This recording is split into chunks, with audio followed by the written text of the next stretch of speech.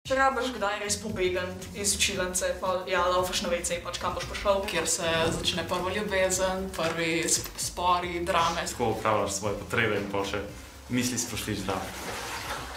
Lahko ga zalivamo in odrivamo, ampak drek, oziroma lepše rečeno človeško blato, bo ostal neotoljiv spremljevalec človeških usod. O tem pričajo tako biološka dejstva, kot tudi Janez Vajkart Valvazor. To je ta model, zaradi katerega se morate vi učiti o slavi Vojvodine Kranjske.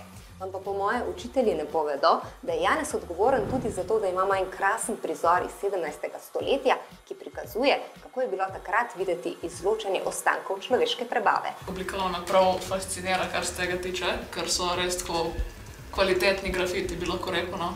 Kjer je tvoj najljubši Kdo? grafit? Človek. Ki gor piše uh, veselo, kakanje ti želi oblikovna, ta je prav v zmeri pozitivno, serotonin in nabije. Zdaj pa se gre In pa lažje kakaš. tako motivacija. Imamo pa v Sloveniji natančno pet oseb, ki se pišejo drek, ampak te nimajo nobene veze s prej omenjeno skupino drekačev. Sem slišal, um, da uh, WC uporabljajo ljudje tudi za kaj drugega, kot samo govorjenje. Ne?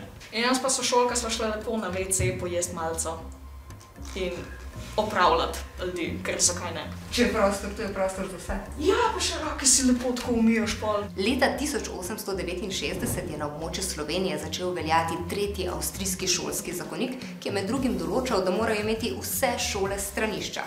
Bil je precej podroben, ampak je bil spisan v nemščini in zato so potrebovali nekaj let, da so ga prevedli in da smo lahko prebrali.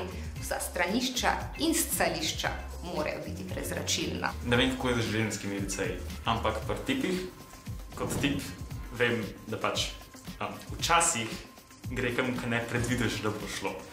In pa pač malo zaudarja. Jaz ponavadi, ko grem, ko grem srat, grem med uro, zato ker ne, ne moreš.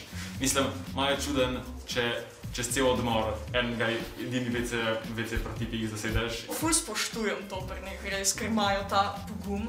Sploh ena mi je razlagala, da ona, če gre to delati, gre to delati na uh, WC od ekonomcev na roški, od spodaj, zato da nam ne smrdi. Plini starejši, ki ga je pri Neaplju pokopal v vezu, je predtem spisal naravoslovje. V njem pa piše, kako so Atenci izločke uporabljali tudi v zdravilne namene. Vneto grlo naj bi tako recimo zdravili s pepelom zažganih kakcev, močno menstruacijo pa z nekaj požirki kozjega urina. Čemer pa je zelo pomembno, da gre za urin samic. Pred uporabo tovrstnih pripravkov pa se vseeno posvetujte zdravnikom ali farmacevtom, saj je medicina v zadnjih 2000 letih kar precej napredovala in nobene potrebe ni potem, da bi vam kdo prodajal sranje ali pa vas peljal s cat.